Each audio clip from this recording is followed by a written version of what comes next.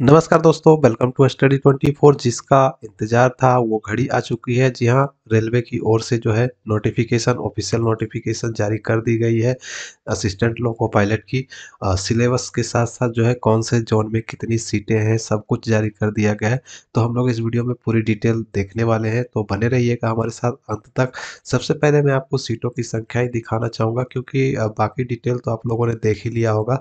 तो सबसे पहले मैं आपको सीटों की संख्या ही दिखा रहा हूँ। देखिए, सबसे पहले बात करें, देखिए यहाँ पे अहमदाबाद की तो अहमदाबाद जोन में आप देखेंगे तो टोटल दो सौ अड़तीस सीटें दी गई है, अजमेर में 228 है, बेंगलोर में आप देखेंगे तो चार सौ तिहत्तर है, और भोपाल में देखेंगे, जो कि डब्ल्यूसीआर और डब्ल्यूआर के अंतर्गत आता है 219 और पैंसठ सीटें यहाँ पे दी गई है भोपाल में। भुवनेश्वर की बात करें तो यहाँ पे देखिए 280 सीटें दी गई हैं बिलासपुर की बात करें तो सी आर जोन में और एस सी आर जोन में आप देखेंगे तो 124 सीटें हैं और ग्यारह सौ सीटें हैं, एक हज़ार एक सौ बानवे। यानी कि सबसे ज़्यादा सीटें जो है वो बिलासपुर जोन में दी गई है और वहीं चंडीगढ़ में आप देखेंगे तो यहाँ पे छियासठ सीटें दी गई हैं, चेन्नई में देखेंगे तो एक सौ अड़तालीस सीटें दी गई हैं, गोरखपुर में देखें तो तैतालीस दी गई है, गुवाहाटी में देखें तो बासठ दी गई है और जम्मू श्रीनगर की बात करें तो आप देख पा रहे होंगे टोटल उनचालीस दी गई है, कोलकाता की बात करें तो ई e आर में देखेंगे और एस सी आर में तो ई e आर में दो सौ चौवन है एस सी आर में दो नाइन्टी वन है, ठीक है? फिर मालदा में देखेंगे तो ई e आर में आप देखेंगे एक सौ इकसठ सीटें हैं और एस सी आर में आप देखेंगे एस सी आर में देखेंगे तो छप्पन सीटें दी गई है। मुंबई बोर्ड की बात करें तो देखिए एस सी आर में देखेंगे तो छब्बीस सीटें हैं और डब्ल्यू आर और सी आर में देखेंगे तो यहाँ पे 110 और 411 सीटें दी गई है। इसके अलावा अगर आप देखें नेक्स्ट में तो मुजफ्फरपुर की बात करें तो ई आर में देखेंगे तो अड़तीस सीटें हैं, वहीं पटना जोन की बात करें, पटना बोर्ड की बात करें आर आर पटना की तो ये अड़तीस सीटें हैं। प्रयागराज में देखेंगे। और यहाँ पे प्रयागराज का मैं एक बार फिर से बता दे रहा हूँ, देख पा रहे होंगे एनसीआर में देखेंगे तो 241 सीटें हैं और वही एनआर में देखेंगे तो 45 सीटें दी गई है। इसके अलावा देखेंगे रांची में तो SCR में आप देखेंगे ठीक है?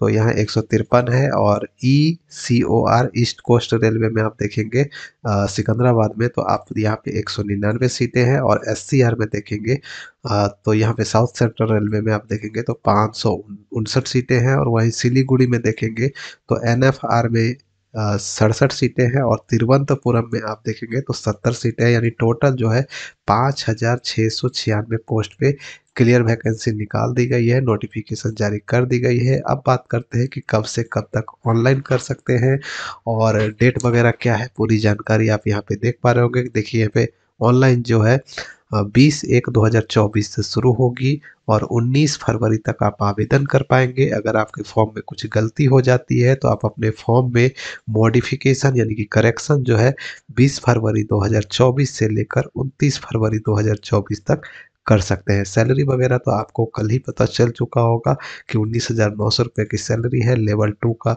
ये जॉब होगा। असिस्टेंट पायलट लोको पायलट का पोस्ट है। 18 से 30 साल तक एज दी गई है। सीटों की संख्या बता ही दिया गया है। अब चलिए इसमें जो इम्पोर्टेंट है वो मैं आपको दिखाता हूँ। आपके मन में सवाल ये भी उठ रहा होगा कि ऑनलाइन लिंक वगैरह कहाँ से मिलेगा? तो ऑनलाइन लिंक देख पा रहे होंगे आपको रोज़गार बिहार डॉट कॉम पर उपलब्ध करवा दी जाएगी। यहाँ पे आप देख देख पा रहे होंगे, पूरी डिटेल भी दे दी गई है, ठीक है? और इसके साथ एप्लीकेशन फ़ीस वगैरह की जानकारी दे दी गई है कैटेगरी वाइज करके तो यहाँ पे भी चेक कर सकते हैं। एज कितनी होनी चाहिए कैटेगरी वाइज वो भी बता दिया गया है। सीटों की संख्या बता दी गई है क्वालिफिकेशन बता दिया गया है पूरी डिटेल के साथ। रिक्वायरमेंट प्रोसेस क्या होगा, यानी कैसे चयन किया जाएगा, चयन प्रक्रिया यहाँ पे बता दी गई है। इसके अलावा सीबीटी बता दी गई है, यानी जो आपका एग्जामिनेशन सिलेबस है और एग्ज़ाम पैटर्न है, वो सब सारा कुछ बता दिया गया है क्वालिफाइंग मार्क्स बता दिया गया है कि कितने मार्क्स आपको परीक्षा में लानी है, वो वो भी यहाँ पे बता दिया गया है नेगेटिव मार्किंग भी बता दिया गया है, देख सकते हैं वन थर्ड का नेगेटिव मार्किंग लिया जाएगा, ठीक है? नेगेटिव मार्किंग जो है आपका वन थर्ड होगा सी बी टी वन और सी बी टी टू दोनों में। और आपका परीक्षा जो है, देख सकते हैं। सी वन में क्या पूछा जाएगा? स्टेज वन में देखिए सी बी वन में क्या क्या पूछा जाएगा? देख सकते हैं, पचहत्तर क्वेश्चन है ड्यूरेशन साठ मिनट का मिलेगा। मैथमेटिक्स है जनरल इंटेलिजेंस एंड रीजनिंग है। कौन कौन से सब्जेक्ट से कितने क्वेश्चन है? यहाँ पे कौन कौन से चैप्टर से क्वेश्चंस पूछे जाएँगे? वो सारा कुछ यहाँ पे बता दिया गया है। आकर आप चेक कर सकते हैं, ठीक है?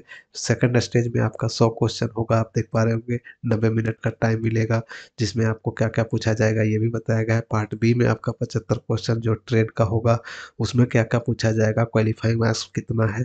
पैंतीस परसेंट है। तो ये सब सारी जानकारी आपको रोज़गार बिहार डॉट कॉम पर दे दी गई है। और ट्रेड में किस किस चैप्टर से क्या क्या पूछा जाएगा, ये सब सारी जानकारी दे दी गई है। आपका थर्ड स्टेज स्टेज जो सी होगा साइको टेस्ट यानी एप्टीट्यूड टेस्ट उसके बारे में भी जानकारी दे दी गई है। क्वालिफाइंग मार्क्स भी बता दिया गया है। और लिंक भी आपको 20 तारीख से यहाँ पे एक्टिवेट हो जाएगा तो यहाँ से चेक कर पाएँगे और शॉर्ट नोटिफिकेशन भी यहाँ पे देख पाएँगे और ऑफिशियल नोटिफिकेशन भी डाल दिया जाएगा तो यहाँ से चेक कर पाएँगे। देखिए रिक्वायरमेंट प्रोसेस में यहाँ पे आपको नोटिफिकेशन में भी बताया गया है। फ़र्स्ट स्टेज में आपका सी बी टी वन होगा सी बी टी टू होगा सेकेंड स्टेज में सी बी टी टू लिया जाएगा। फिर थर्ड में जो है आपका कंप्यूटर बेस्ड टेस्ट जो एप्टीट्यूड टेस्ट जो साइको टेस्ट साइको टेस्ट होगा, वो जो कि रोज़गार बिहार डॉट कॉम पर भी बता दी गई है। और चौथे में आपका डॉक्यूमेंट वेरिफिकेशन है और पाँचवें में आपका मेडिकल एग्जामिनेशन लिया जाएगा। तो ये सब सारा कुछ बता दिएगा क्या क्या पूछा जाएगा, ये भी यहाँ पे बता दिया गया है ठीक है? तो आकर चेक कर सकते हैं। पूरा डिटेल आपको रोज़गार बिहार डॉट कॉम पर भी उपलब्ध है। देखिए वही सब चीज़ें यहाँ पे भी आपको नोटिफिकेशन में भी वही देखने को मिलेगा जो रोज़गार बिहार डॉट कॉम पर ऑलरेडी पहले से ही आपको उपलब्ध करवा दिया गया है। ये नोटिस आने से पहले ही वहाँ पर आपको उपलब्ध करवा दिया गया है। ठीक है? और तो दोस्तों, विशेष इस नोटिफिकेशन में ज़्यादा कुछ है नहीं। जो भी डिटेल था, वो मैंने आपको लगभग चीज़ें जो है, बिल्कुल सब कुछ बता ही दिया है। अगर आपको इसको डाउनलोड करके देखना है तो मैं लिंक दे दूँगा वीडियो के डिस्क्रिप्शन में। आपको टेलीग्राम का लिंक दे दूँगा, वहाँ से आप इसे आसानी से डाउनलोड कर पाएँगे, ठीक है? टेलीग्राम ज्वाइन कर लीजिएगा पल पल की जानकारियों के लिए। तो उम्मीद करता हूँ दोस्तों, वीडियो आप लोगों को अच्छी लगी होगी। तो ज़्यादा से ज़्यादा वीडियो को शेयर कर दे, चैनल को सब्सक्राइब कर ले। पल पल की अपडेट के लिए मैं मिलूँगा नेक्स्ट वीडियो में। नेक्स्ट अपडेट के साथ, तब तक के लिए बाय। जय हिंद।